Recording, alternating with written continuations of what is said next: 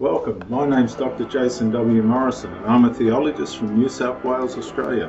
Psychologists help people with themselves and other people, and theologists help people with themselves and God. Hebrews 4 and 8 For if Joshua had given them rest, then he would not afterward have spoken of another day. Verse 9 There remains, therefore, a rest for the people of God. That's in the finished work of Christ. Verse 10 For he who has entered his rest has himself also ceased from his works as God did from his. Now, oh my goodness, what a beautiful passage. He's previously spoken about the Sabbath and how God used the Sabbath and all the rest of it, and then he went into law, and now he's come out of law.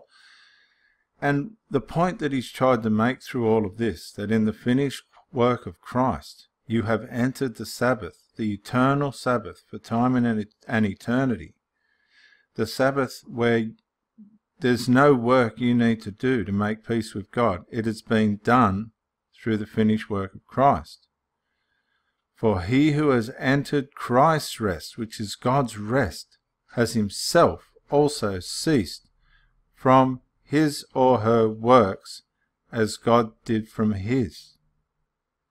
Now, this is about your position in God through the finished work of Christ. There's no more work or effort or thinking or anything else you need to do to worry about whether you're at peace with God or not.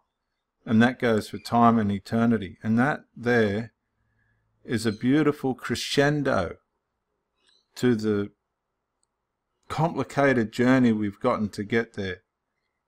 Let's say this together. You say it after me. Through the finished work of our Lord Jesus Christ, I have entered God's rest. I have also ceased from my works as God did from his. Verse 11, Hebrews 4. Let us therefore be diligent to enter that rest. Now, isn't that interesting?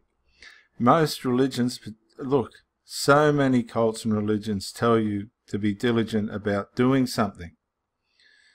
This beautiful verse of Hebrews chapter 4:11 says, "Let us be diligent to enter the rest, to be confidently assured that the finished work of Christ has given us peace with God for a time and eternity." And this is why he says, "Let us therefore be." Oh, this is be- This is beautiful. This is the gospel. This is as good as the gospel can get. This is the message of our Lord Jesus Christ. This is the good news. Let us therefore be diligent to enter that rest, lest anyone fall according to the same example of disobedience. And he's talking about the people that were under the law, that were sadly destined to fall. And he's giving us a warning. If we think there's anything, honestly, please, please listen.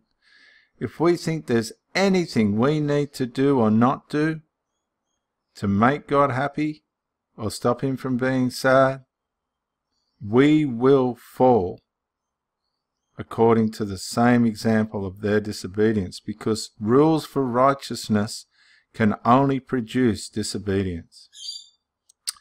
Verse 12 of chapter 4, everybody should know this off by heart. For the Word of God, what is the Word of God here? It's the finished work of Christ. It's a revelation of the finished work of Christ, and that that's given you peace with God for time and eternity, and you should have assurance of that. For the Word of God is living and powerful, and sharper than any two edged sword, piercing even between the division of soul and spirit. So you do have a spirit, Jehovah Witnesses, you do have a spirit. And joints and marrow, just as equally as you have joints and marrow and there is no cre- oh, joints and marrow, and is a discerner of the thoughts and intents of the heart. Now, what you've got to realize here, and we're coming to a close, is that the finished work of Christ helps you to discern the thoughts and intents of your heart.